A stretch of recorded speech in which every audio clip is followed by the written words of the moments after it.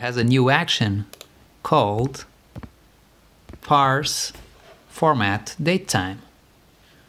What this does, it, it lets you input any date and then out, uh, the output will, will tell you several things about the date. For, uh, by default, you can you get the current date, so the input type is now, and you get these variables. So without even having to configure anything, you can get, for example, let's add a flash with the current year slash current month slash and current day. So with these two actions, you can get the today's date. Uh, if you notice, there's some zeros missing here, which would make it look better. So to make this simpler, instead of using these built-in variables, let's create a, for a format so you get that right away. So if, for example, can do for y's and then two m's and then two lowercase d's and this will get the same format as before but with the zeros in place. So let's see. Now I can simply replace all of this with the formatted date. There you go. Looks better. Now you could even uh, call this something else like to today's date. And this will create a variable called today's date and you can use that directly. Instead of this, use today's date. There you go. Now, instead of using um, the current time, you can use any other input types, like for example, the milliseconds or the seconds or the specific format or even any custom format you want. Let's try this out. For example, let's say I have I want to get the date of oh sorry this is the format let me cut this the input is like uh, 17 uh, 05 and the input format is this one hours and then minutes. And the output format I can for example let's say um, just the minutes. And now I can output a variable called minutes and here show that same variable, minutes. And as you can see, it parsed out only the, the minutes part and put it there. Now let's say I wanted another variable with the hours. I can simply add hours here. And as you can see, hours, minutes, two variables. So now if I flash hours and minutes. I get, oh yeah,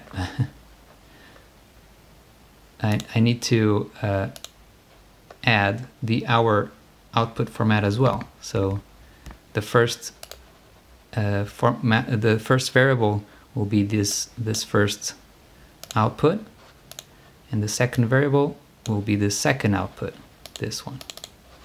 So now, yep, 17 and 5. And you could also have multiple inputs, inputs if you want. So instead of just one input, I could have, let's say, uh, 21,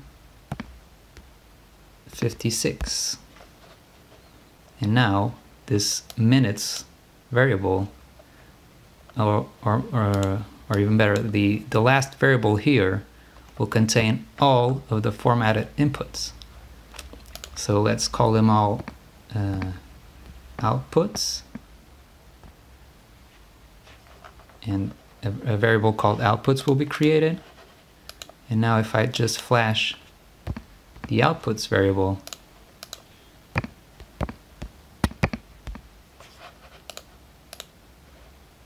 all of the different outputs will be created. So one for each input, you have two inputs, and for each of the outputs, you'll get you'll get uh, the formatted output. So you have two inputs and two outputs. So you'll get this one formatted as hours and, and this one forget, formatted as minutes, and also this one formatted as hours and this one formatted as minutes. So you'll get 17, 5, 21, 56.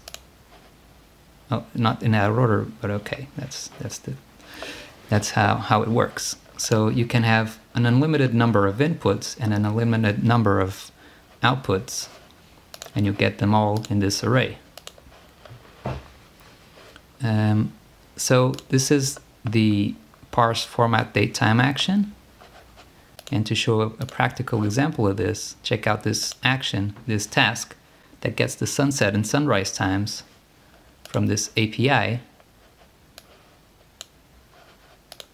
And it outputs date in this format, ISO 8601.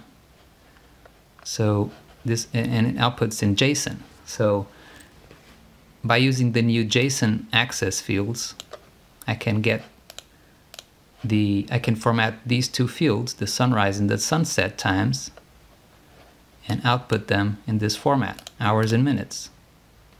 So now I get my location, I do the request, I parse the output, and in four actions, I can have this say action, which will tell me this.